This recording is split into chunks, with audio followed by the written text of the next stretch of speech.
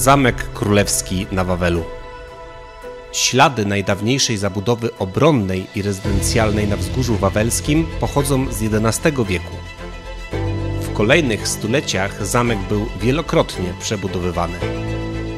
Jako siedziba władcy stanowił serce rozległego Królestwa Polskiego, stając się symbolem polskiej państwowości.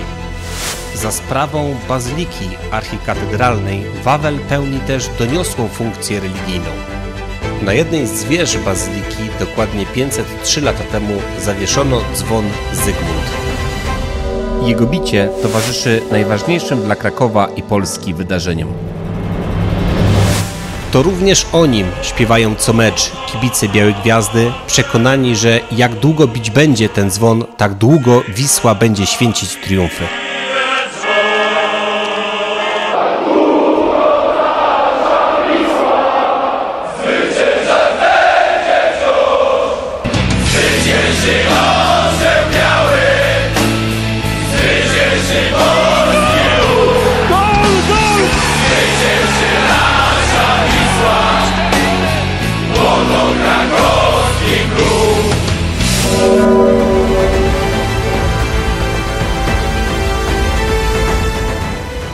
Zetek Zwoliński, wujak Wisła.